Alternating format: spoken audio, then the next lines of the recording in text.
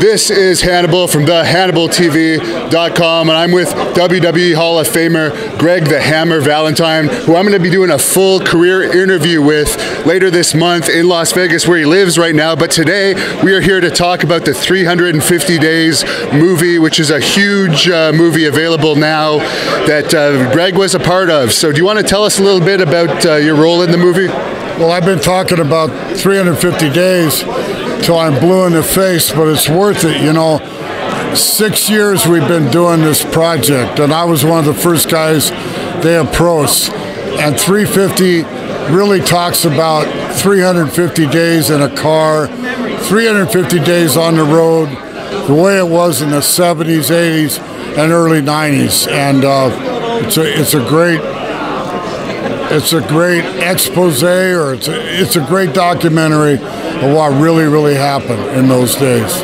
Now, Evan Ginsberg was one of the associate producers on that. He also worked on The Wrestler. Yeah. A lot of people say that the Mickey Rourke character was partly based on you. Did you ever hear about that?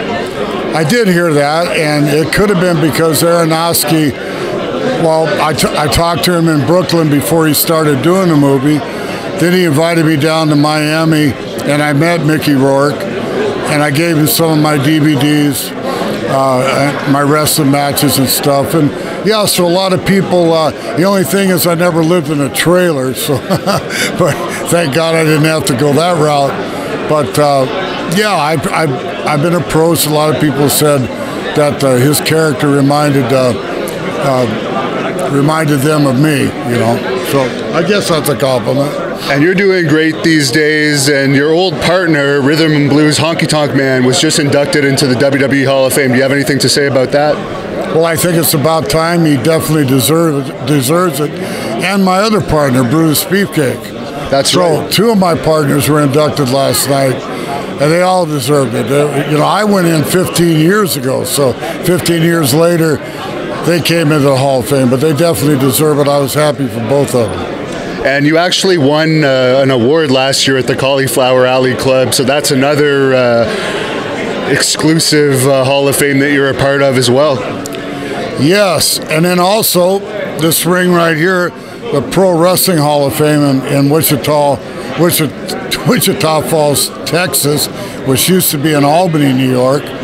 That was, you know, that was a thrill too because this is the Hall of Fame that my my father Johnny Valentine is also a part of. So.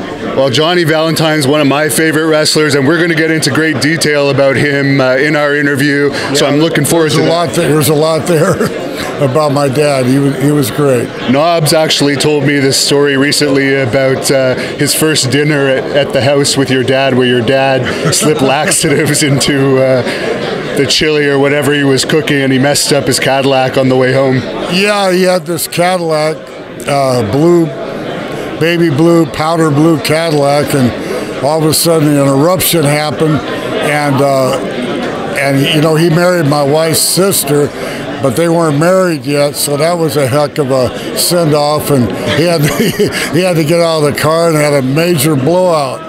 So, you know, I my dad denies it. You know, I mean, he's passed away now, but up to his dying day, he denied that he, but he never admitted to too many of his ribs. But he was a master of a lot of ribs. We could go into that later. Definitely. Well, 350 days. Search it on Google. I think it's on Amazon. It's everywhere. It's well worth getting. Star Greg Valentine. All right. Nice to see you again. Thank you, Hannibal. Thank you.